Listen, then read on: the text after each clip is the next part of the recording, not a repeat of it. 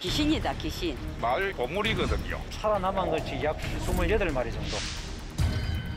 큰 붕어가 한 5, 60마리 새끼 난 거 그것도 싹 찾아보면 거 없어서